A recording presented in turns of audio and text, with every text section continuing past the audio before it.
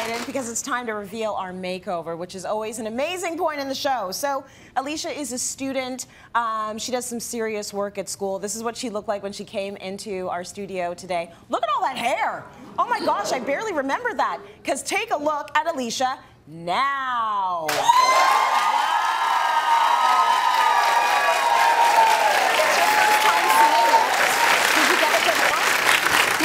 What do you think? I love it. I love it too. I love it too. Let's give Thank big you. Props to the team. Phillipe Fiorio, Shobana Thank you. So, how much would you say you took off? Did you cut? You cut, Oh, right? Quite a few inches, quite a few inches, a and we took out a lot of that density. Yes. You know, when you pick from the audience, you have carte blanche, and I was gonna go shorter, but Ashley looked at me with those eyes and was like, "Oh, please don't go too short." And, and being she's youthful, I kept some length. Yeah. And I think it looks stunning. It, it, it, it, just brings her up. It's just not wearing on top of her head anymore. It was just like a Yeah. blanket over her head. Now it's just light. It moves. It's airy. It's beautiful. It's a style. It is, Right? yeah. So you gave her a style and it's Exactly. beautiful. Did you switch the part? No. No, it's the same? It's the just same, but, but I cut it so it can go any which way she wants. Oh, so she can so go any which way.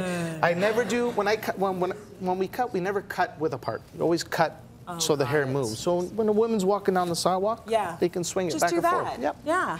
Okay, Shobana uh, makeup beautiful. Thank you. Really She's lovely. Stunning. Look at those lips, Absolutely. right? Absolutely. I know. Oh. Gorgeous. So I just channeled the Golden Globes. Red was all over it. It's also January, so red's a great pick-me-up. You don't Yeah. have to do much. You know, if your hair is a mess, you have to step out, just put on some red lipstick and you feel fabulous. That's right. And so we just cleaned up her face and we lifted her eyelashes and we really just enhanced her natural fe- uh, features. But Mm-hmm. try red.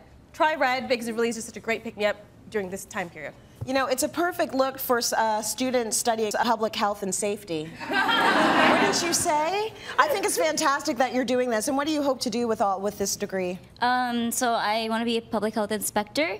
Um, so basically, we um, try to find any health hazards and see if just to prevent any diseases for the public. Nice. So not just beautiful, incredibly smart.